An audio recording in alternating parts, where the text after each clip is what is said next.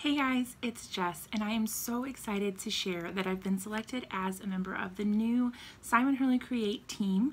You guys know that I've been a huge fan of Simon's release ever since it launched at Creativation this past year, and I couldn't be more excited to continue creating with all of his awesome products uh, in the next few months and also share with you guys a brand new release that's just become available today.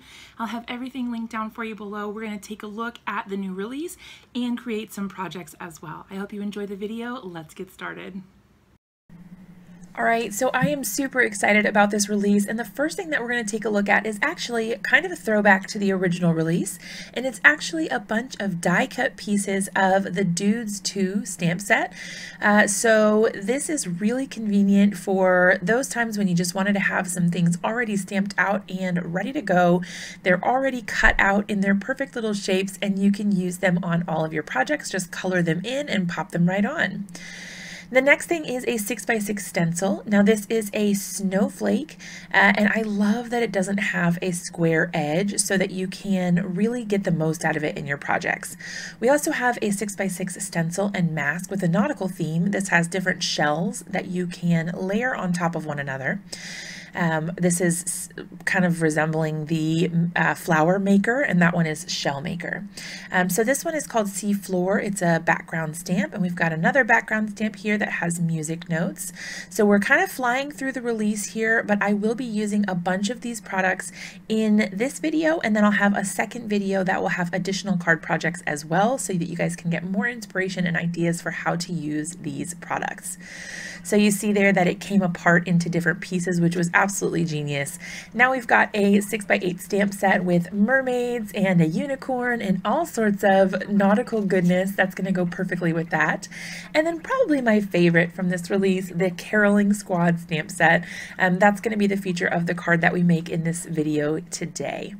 All right, so now that we've looked at the release, let's go ahead and get started with our very first card. Uh, so I'm going to be doing some ink blending with the Simon Hurley Create ink pads. This first color is called Triple Berry. I like to do my blending this way, so I just start with one of my colors, come in, sort of overlap the colors I've already done, um, and these are more of a transparent ink, so you can see that the colors lay nicely over top of each other. Um, you can definitely blend with them and use them for all of your more traditional ink blending techniques. They are water reactive as well. Uh, if you don't have them, you should definitely pick up the re-inkers as well. I'm going to be doing some techniques in some upcoming videos with the re-inkers for these ink pads, um, so you'll definitely want to grab those. Uh, so the second color I used was Remember Me, and then now I'm coming in with Over the Moon. I like that you can blend that in and get just a little bit of green there without going a little too crazy. and then I'm going in with Woof at the bottom to create my ground. So I wanted to have kind of sort of a sky background, but not really a traditional sky, as you will see. Um, the, the gray down at the bottom is my ground, and then as it goes up, that's kind of just like my sky background. So you can see here what I meant about them being water reactive. It looks amazing. I love doing that splatter effect by just spraying the water directly into my hand and then flicking it onto the paper. And then to add some darker spots, I am going in with the ink pad, just smushing it directly on my craft mat, spritzing it with just a touch of water, and then flicking it onto my background.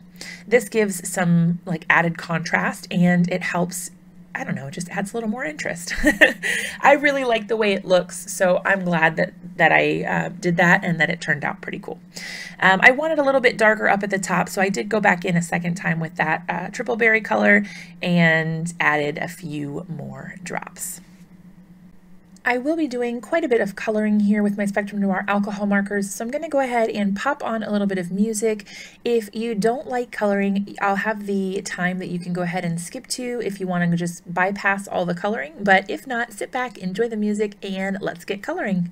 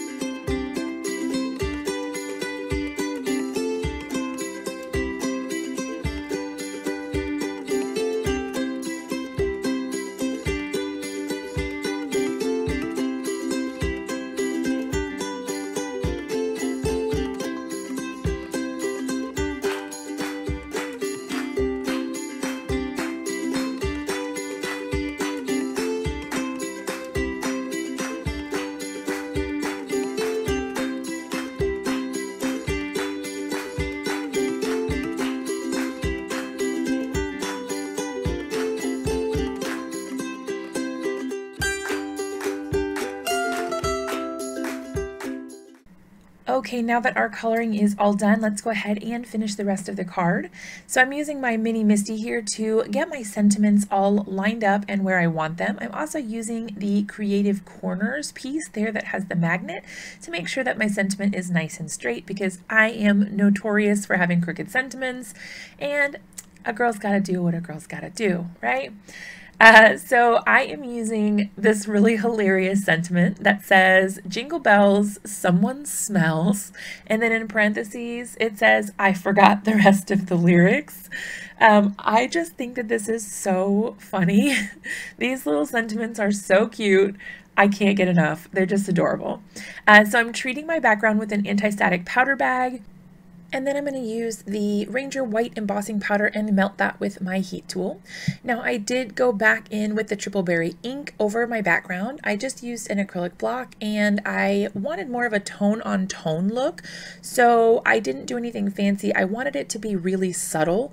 Uh, so I just stamped out some of those music notes and I thought that added a really nice little bit of interest.